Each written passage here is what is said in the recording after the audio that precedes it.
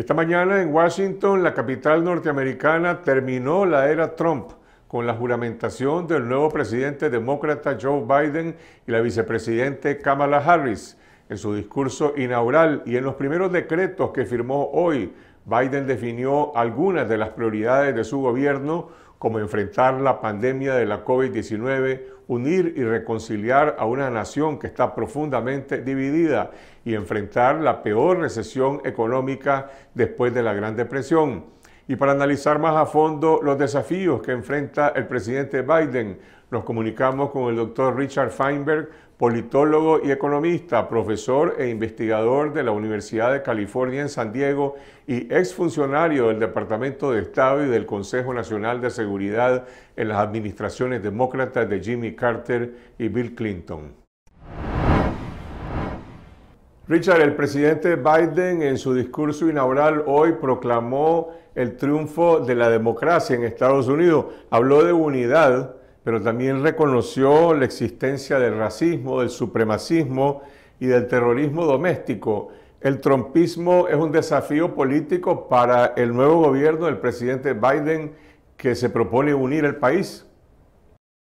Ah, bueno, yo diría de que el país está dividido por varias razones, eh, razones eh, regionales, es decir, eh, y entre gente de la ciudad y gente del campo, entre blancos y, negros, hombres y mujeres, jóvenes y viejos. Es decir, hay, muchas fracturas en el país. Y, entonces, y, eso fue justamente el, pan de todos los días de, de Trump, de de hacer aún más agudo estas, estas divisiones. Entonces Biden entra con un mensaje totalmente al contrario, que el arte de la política es justamente unir a, a, estos grupos para que no sean siempre de acuerdo en todo, pero por lo menos uh, vivir en paz, uh, aprender otra vez de cómo hacer uh, los compromisos para avanzar en, enfrentar los problemas que ya sabemos cuáles son. Su mensaje al Partido Republicano, a los electores que no votaron por él, también fue un mensaje de, unidad, un mensaje de, reconciliación. Eh, ¿Podrá contar con algún apoyo, con alguna colaboración en el Congreso, en el Senado del Partido Republicano o se podría desatar eh, una guerra política? Bueno, eso es, eso es la gran pregunta, es lo que vamos a ver.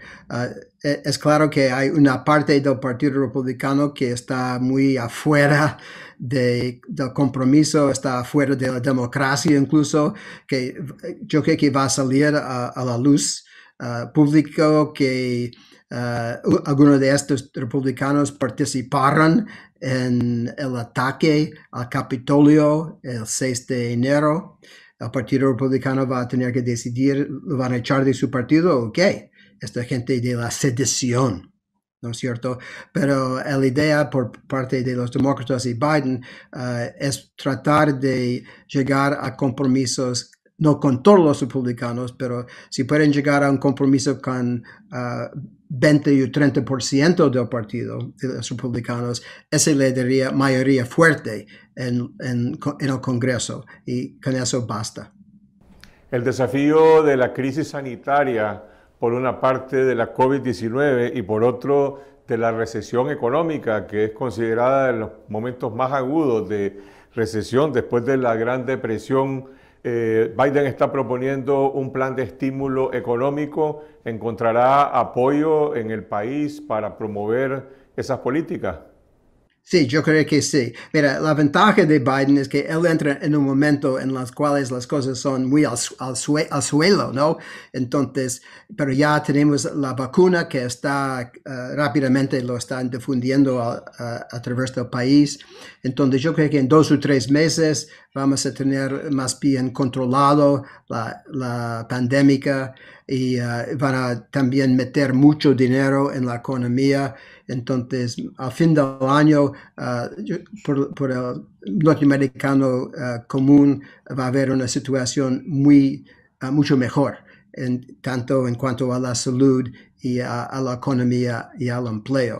Y eso le daría un empuje a toda la administración de Biden para que él pueda de allí avanzar en sus otros planes que tienen que ver con con la crisis ambiental, con problemas de la falta de buena infraestructura, uh, tenemos que mejorar los sistemas de educación pública, es decir, hay una agenda bastante fuerte, ¿no? Uh, tratar de mejorar la industrialización del país, la innovación del país uh, para que podamos competir al nivel mundial en, el siglo XXI. Es decir, hay muchísimas cosas en su agenda y vamos a tener que gastar dinero, pero lo bonito es que con las tasas de interés tan bajas se puede ya pedir préstamos también por parte del, fisco, del fiscal. Entonces, um, la idea de gastar un poco de dinero ya no asusta a la gente como hace quizás 10 años. ¿Y cómo puede Biden mantener también la unidad de su votante, de los demócratas, del sector que se asocia con demandas más a la izquierda o más progresistas del Partido Republicano, como Bernie Sanders y como otros sectores? Mira, como tú sabes, en Nicaragua, el arte de la política es unir fuerzas, ¿no? Y Biden fue capaz de primero ganar las primarias en el Partido Demócrata unificando fuerzas de adentro de su partido. Gente que tienen ideas bastante diferentes, pero se entendió que sin la unidad del partido, sin la unidad de, tantos movimientos, no iban a poder sacar a este tipo Trump de su trono. Entonces la unidad fue clave en ganar las elecciones. Ahora, una vez en el gobierno, otra vez la unidad, no a todos, pero la gran mayoría para que pueda avanzar en su agenda y tener un éxito, para que otra vez no enfrentamos a problemas como un tipo nacionalista, racista y tipo como Trump, que dejamos eso ah, en el pasado. Una de las características de la administración Trump era el caos, incluso la inestabilidad en su propio equipo, vacíos de cargos en los que pasaron meses sin hacer nombramientos.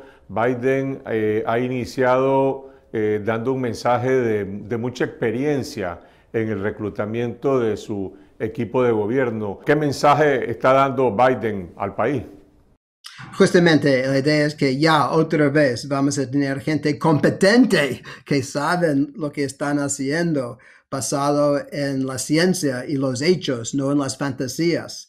Ah, gente que sabe, entienden cómo funcionar un gobierno, ah, cómo formar uh, comités y, y, con, un, con un, proceso de hacer la política interna que es bien ordenado con toda la gente alrededor de la mesa discutiendo, haciendo recomendaciones, a un presidente que escucha a los demás, a, los expertos y a los hechos.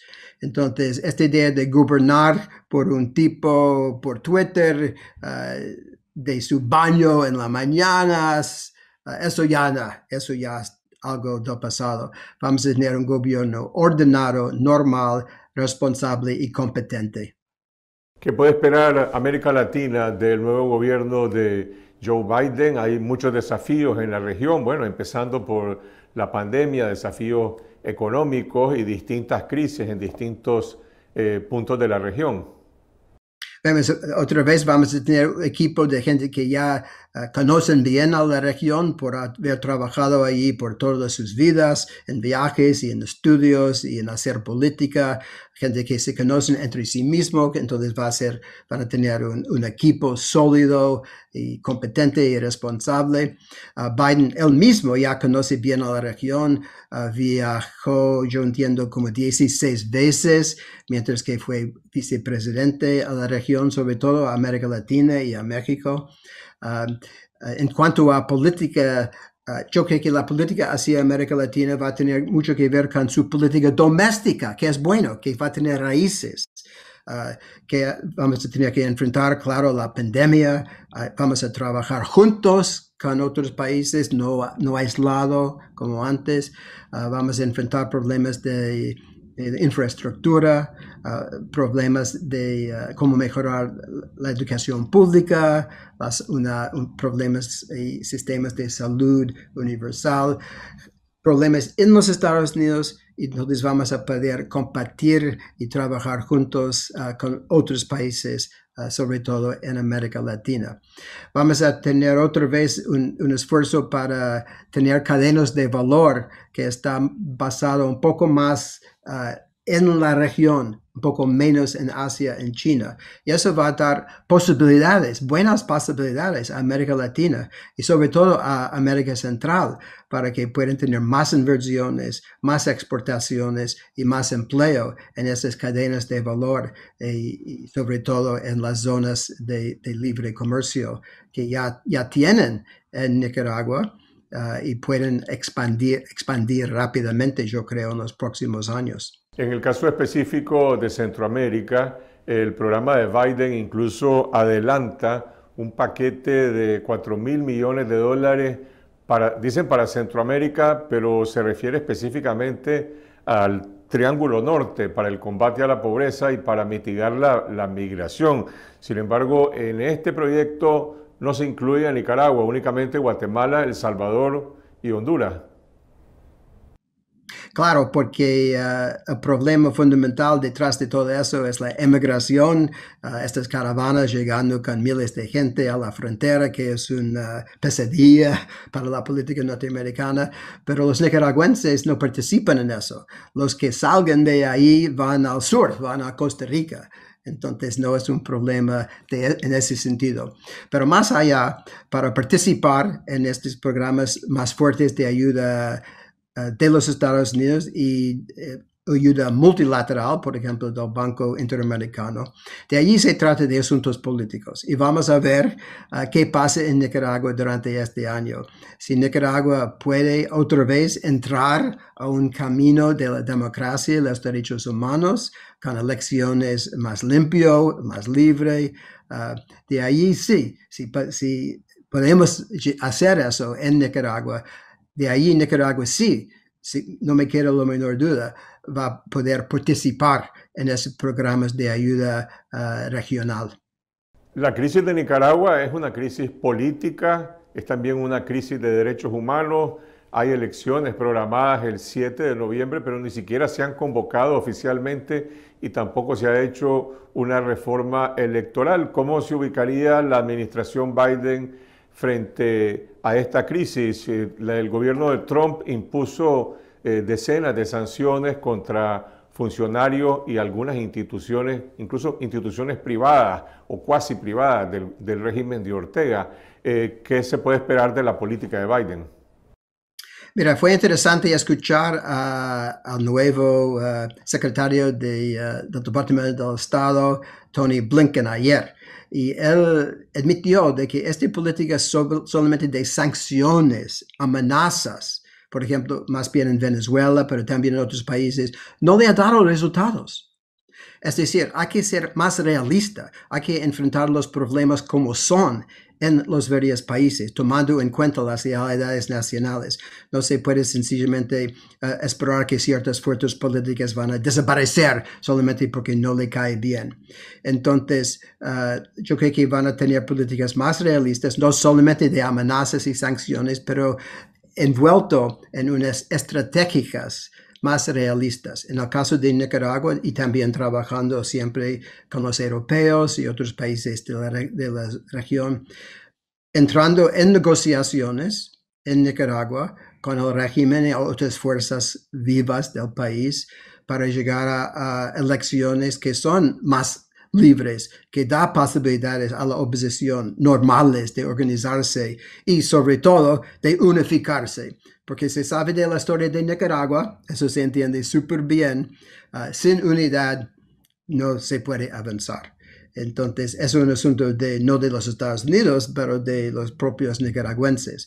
Pero si la oposición puede unificarse por un lado y por otro lado, negociaciones con las uh, fuerzas internacionales para dar posibilidades a elecciones uh, que abren un camino democrático. Eso si, eso sí puede pasar, de allí después de noviembre, las elecciones libres, Nicaragua puede otra vez entrar al mundo de América Central y al mundo internacional para participar normalmente en los frutos de la cooperación internacional. Ahora, para el régimen de Ortega, ¿es una buena noticia el nuevo gobierno de Biden, un enfoque que no se limitaría únicamente a sanciones, sino que busca algunos incentivos para negociar y colaborar con otros sectores? ¿Qué pasa si Ortega simplemente no tiene la voluntad política de favorecer elecciones libres como hasta hoy está actuando, porque no ha dado absolutamente ninguna señal. Por el contrario, Nicaragua se ha cerrado más el espacio político y se ha fortalecido más el Estado policial. Mira, la gente hace sus propias historias. ¿Sabe lo que pasó a Somoza? Somoza tenía la oportunidad de negociar y decidió que no. Y sabemos lo que pasó. Violencia y por fin terminó en el exilio y por último muerto. Entonces la gente nace en sus propias ah, historias. Lo que puede hacer la oposición Nicaragua y la comunidad internacional es ofrecer incentivos a, a una persona como Ortega. Si él trabaja bien, con honores, puede haber ciertos buenos resultados por él, por la comunidad internacional y uh, por su vida uh, de aquí en adelante. Uh, eso es lo que se puede hacer, ofrecerle incentivos. Por último, la decisión él lo va a tomar él mismo. ¿Qué expectativas tienes en relación a la política de Biden en relación a Cuba? Se ha hablado de retomar algunas de las políticas de Barack Obama, aunque el exsecretario de Estado Kerry dijo que no habían tenido tampoco el, éxito que se habían propuesto. Mira, ah, lo que Biden dijo durante su campaña es que otra vez va a permitir a los norteamericanos viajar a, Cuba con, más vuelos, etcétera, y además que los cubanos viviendo en los Estados Unidos van a poder mandar sus remesas a sus familiares en la isla. Más allá, vamos a ver, depende en parte qué pasa en la isla. Hay un gobierno ahora en, en Havana que parece que está estancada, no sabe qué hacer. Vamos a ver si deciden adelantar en las reformas internas o no. Por otro lado, yo creo que va a haber un debate dentro de la administración. Uh, si hay que dar todavía peso a los cubanos viviendo en Florida, que en general quieren mano dura todavía, o si Biden va a decir, mira, con ustedes no podemos satisfacerle, ustedes siguen enojados y no están pensando con, racionalmente.